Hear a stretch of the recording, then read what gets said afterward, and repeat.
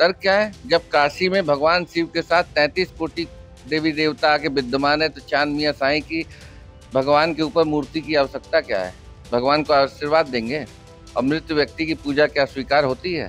बीते रविवार को वाराणसी के लोटिया इलाके से एक बड़ा गणेश मंदिर से साईं प्रतिमा को हटाया गया और यह ज़िम्मेदारी किसी और ने नहीं, बल्कि केंद्रीय ब्राह्मण महासभा और सनातन रक्षक दल के खुद को प्रदेश अध्यक्ष करने वाले अजय शर्मा जी ने लिया।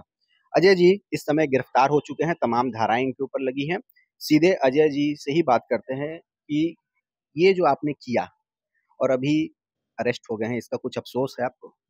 महादेव के काम में अफसोस तो शिव भक्त कैसा महादेव काम में अफसोस नहीं होता है उन देवता का आदेश है देवता के आदेश का पालन हो रहा है सनातन धर्म में शुद्धिकरण चल रहा है। उस दिन आपने क्या किया था और ऐसा बताया जा रहा है कि आपने स्वीकार भी किया है कि चार मंदिर इस खासी क्षेत्र से आपने भैया चार नहीं हमने दो साल में चौदह हटवाए हैं। मैं उसी पे आ रहा हूँ कुल मिला के चौदह खास तौर से चार मंदिर। अभी कल रात दो दशाशों में दो दशाशों में से एक बड़ा गणेश और एक दशा एक दशा एक लक्षा से सूरज अकेले अजय शर्मा नहीं सारे मंदिर के महंत लोग भी हटा रहे हैं ना। ये भी तो बताए कोई जने। और स्वेच्छा हम अपने घर में सफ़ाई नहीं कर सकते हैं दिवाली की। कितने दुर्भाग्य की बात है। हम किसी की मस्जिद में जा रहे हैं मजार में जा रहे हैं चर्च में जा रहे हैं गुरुद्वारे में जा रहे हैं तो हमसे बोलो ना। क्या इसके पीछे तर्क क्या है आपका? तर्क क्या है? जब काशी में भगवान शिव के साथ तैतीस कोटि देवी देवता आके विद्यमान है तो चाँद मिया साई की भगवान के ऊपर मूर्ति की आवश्यकता क्या है? भगवान को आशीर्वाद देंगे? और मृत व्यक्ति की पूजा क्या स्वीकार होती है? गीता में लेकिन वो ग्यारह साल से वो मूर्ति वहाँ पे थी स्थापित पहले क्यों नहीं आप लोगों ने किया? ये कौन कह रहा है? पहले नहीं किया। लगातार निरंतर प्रयास चल रहा था। निरंतर सबको आपको मालूम होना चाहिए कि बड़ा गणेश मंदिर में लगभग चालीस महंत हैं। चालीस को एक करने में कितना मेहनत करना होगा? यहाँ तो विश्वनाथ जी की भी पारी है। मतलब एक से एक कहना है कि सारे महंतों का सपोर्ट आपके साथ है? प्रशासन स्वयं वहाँ है वहाँ पारी पड़ती है विश्वनाथ मंदिर की। तो क्या सब लोग ज्योतिर्लिंग पे जो है चाँद मिया का पैसा खा रहा था?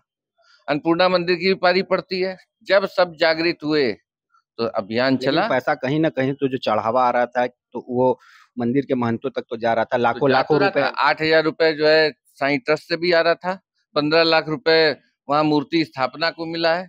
एक कोई व्यक्ति हमको बता दे कि काशी खंड के शिवलिंग का अर्घा अपने पैसे से क्या कोई लगवाता है?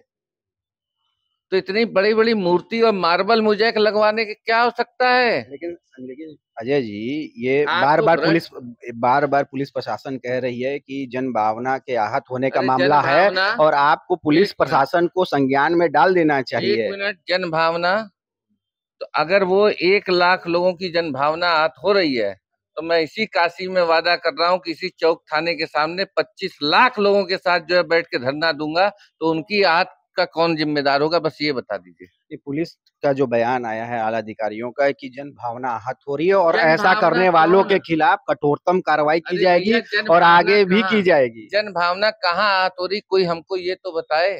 आप कठोरतम कार्रवाई के लिए तैयार हैं। अरे भैया हमको फांसी लटका दो ना हम तो भगवान काम कर लिए मुक्ति मिल जाएगी। अभी क्या अभी क्या अगला टारगेट है?